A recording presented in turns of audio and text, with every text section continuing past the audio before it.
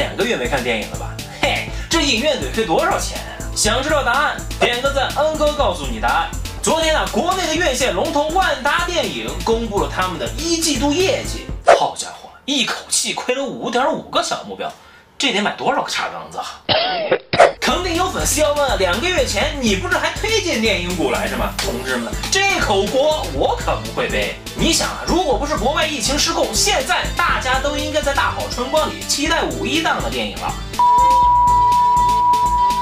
那还有粉丝要问，现在电影股价格更低了，岂不是应该布局？嘿，住手住手住手！一季度完了，还有二季度呢。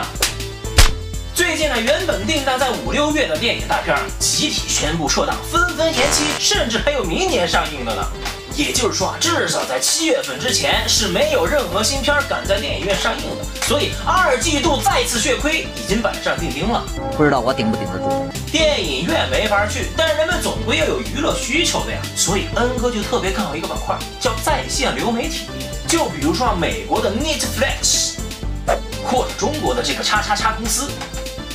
又比如叉叉叉网站，这些在线上提供影视服务的公司，但是他们都没有在 A 股上市，该如何投资？